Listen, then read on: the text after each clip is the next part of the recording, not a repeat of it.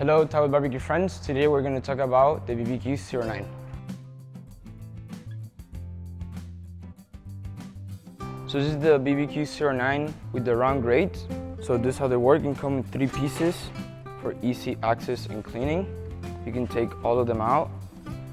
And it also comes with the griddle.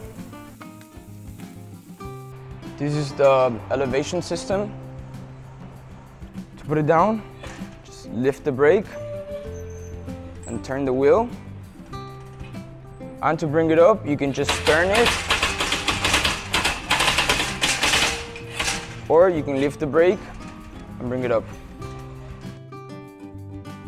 We also offer an extended pole in case you want to put a wall here.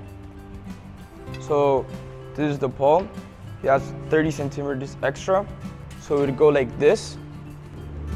So the wall would be here and the bracket for the brakes would go right here, outside on the wall side.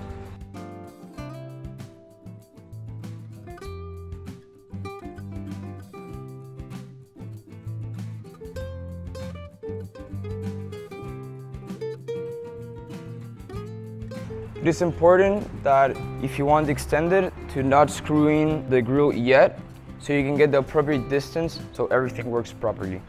We also offer it as a mirror, so instead of having the elevation system the right side, you can also have it on the left side. This is the brazier, it comes with the grill. It also comes with the pucker and the shovel. So the pucker, you're mainly gonna use it to open the door of the brazier.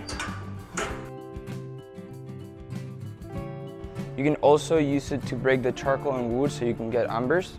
So once the ambers fall here, with the shovel, you put them here. The grill also comes with two different types of hooks. The regular ones and the extended ones. Here we have two separate accessories that you can acquire for the grill. The warming rack, which is really cool because it gives you more surface to cook on another level. So here we have the secondary grate, which is really cool if you want to cook directly under the fire. So you can you turn the wheel and you can move it down and you can move it up depending on how much heat you want the you want there. This is really cool, for example, for tomahawks. And here we have an accessory that we're working on is the clamp grill, which is really good.